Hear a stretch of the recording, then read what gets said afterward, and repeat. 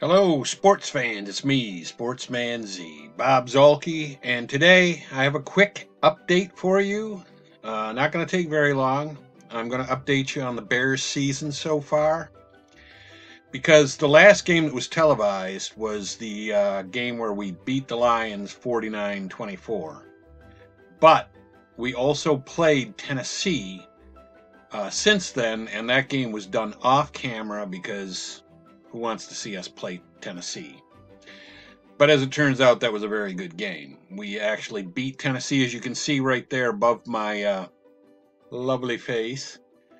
Um, that game nine, we won uh, against Tennessee 21 13. It was a very good game.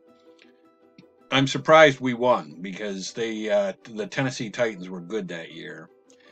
And also, this means that while we did lose to the Eagles, but in real life won the game, we were at that point because of that, and then we won every other game that we should have won, um, and lost every other game that we should have lost. So at that point, we were one game behind the real life Bears in what the record would have been. Um, the Bears actually finished nine and seven, and because we had lost to the Eagles but in real life had beaten them, we were on a pace to be eight and eight. But now we're back on a pace to be nine and seven because we did uh, the Bears did lose to Tennessee in real life in 2008, and in Strat-O-Matic here we beat them 21-13. Um, so this is the statistics through nine games. We are five and four. We've scored uh, 213 points and allowed 198.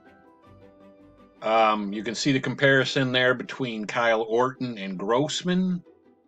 Uh, overall, our passing percentage as a team, uh, passing is 50%, but the interception percentage is nice at 1.64% overall.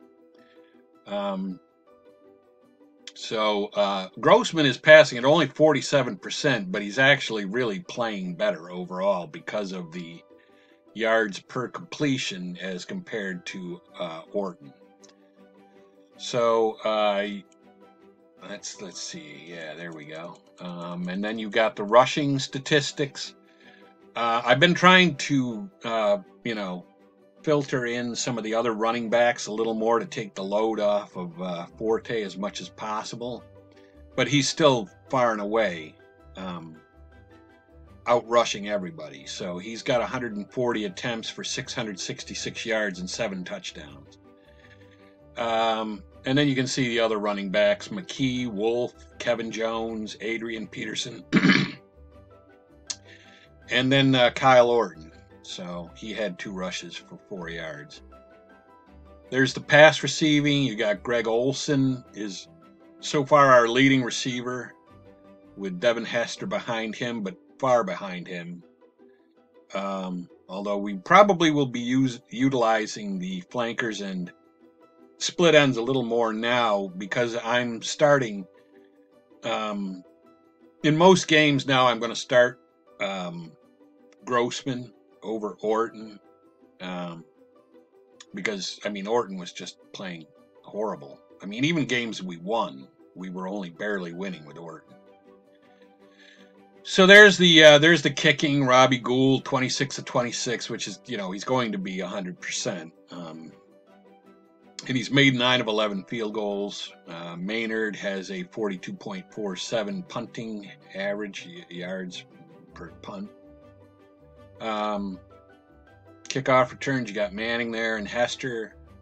Hester on the punt returns. So overall, we've allowed 2,418 yards, 1,773 of those yards through the air, and only 645 on the ground. And we have 13 interceptions and two fumble recoveries and 12 sacks. So overall, there you go. That's what we're doing. Um, the next game will be on uh, Sunday, the um, 29th, I believe it would be. Yeah. The next game will be Sunday, the 29th of March, and that's going to be against Green Bay in Green Bay. You don't want to miss that game but yeah, here are the statistics again. Here's the um, what we're you know. Here's how we have done so far through the schedule. Um, And I just wanted to give you guys that update and let you know because we did play Tennessee and that was off camera. So we got the Green Bay game coming up on Sunday, March 29th. So uh, you definitely want to tune in for that. But for right now, it's me, Sportsman Z, Bob Zuhlke, signing off.